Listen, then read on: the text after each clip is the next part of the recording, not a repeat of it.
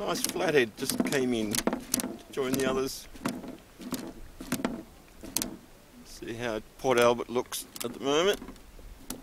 Very nice in the sunshine. Go towards Strzeleckis. Can't see too much because of the mist. You can see the tide is well and truly on the way out. We've got about one hour to go until low tide today.